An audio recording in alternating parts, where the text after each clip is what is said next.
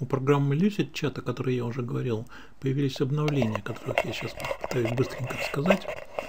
Во-первых, это программа, которая для образовательного домена предоставляется бесплатно. Очень хорошо интегрируется с Google Apps for Education.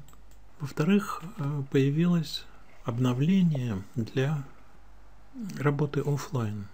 В-третьих, появились вещи, которых я раньше не видал.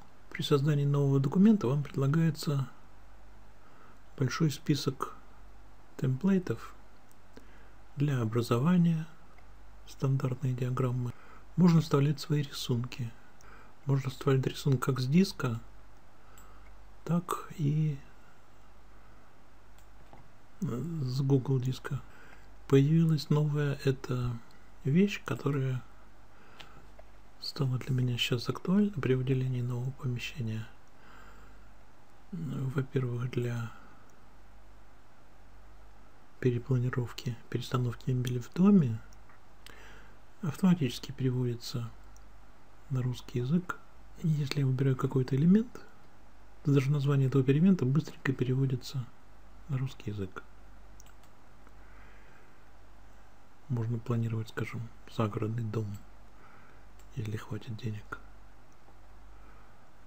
Угловой 8 на 8 дюймов. Нет, конечно же, футов. Высокий табурет. Цветок вид сверху.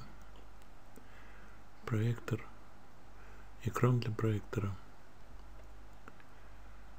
Лэптопов можно много понаставить.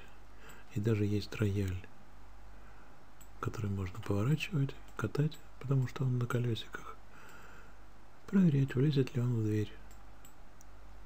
Да попробую открыть. Create, новый документ. И здесь офисное планирование. Офис. Для, планирования школьных помещений, лингофонных кабинетов –